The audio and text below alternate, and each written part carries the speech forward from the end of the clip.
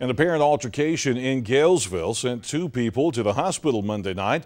Cherokee County Sheriff's deputies and members of the Major Crimes Unit were called to County Road 114. They discovered two men with injuries there. An air evac unit flew one of the men to an area trauma center with stab wounds. The second man also needed medical attention.